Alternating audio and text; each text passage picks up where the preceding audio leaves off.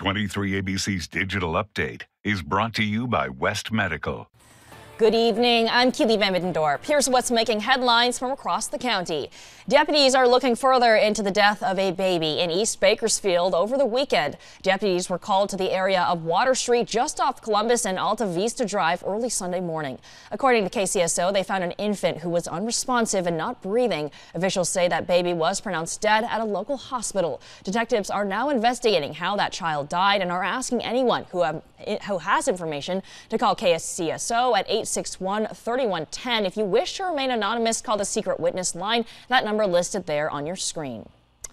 With COVID 19 cases continuing to rise in Kern County, we're seeing levels that we haven't seen in weeks. According to Kern County Public Health, 207 new cases were reported today, bringing that total closer to 112,000 infections since the pandemic started.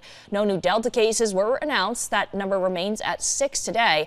As far as deaths, two more were reported. That number now stands at 1,416.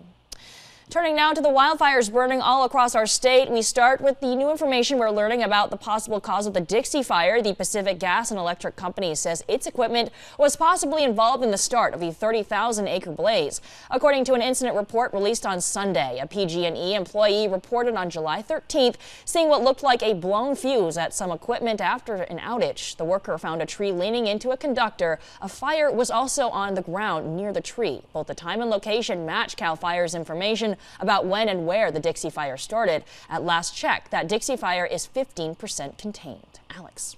And here's a look at your weather headlines. Most thunderstorm activity over the Sierra should be ending by sunset tonight, but we do have some monsoonal moisture that will be moving into our area, possibly bringing uh, the mountain and desert areas some thunderstorms through this weekend. So, of course, we'll keep tracking that. Only about a 10% of seeing some rain as we get closer to the weekend. So, here's a look at your seven day forecast 102 for tomorrow. Saturday seeing 99, a little bit of humidity moving in on Sunday, seeing 98, Monday seeing 98 as well. And then a quick check of your mountain seven day forecast. So, Lake Isabella seeing 99 for Tuesday, Tehachapi 91, Frazier Park at 89. Keely.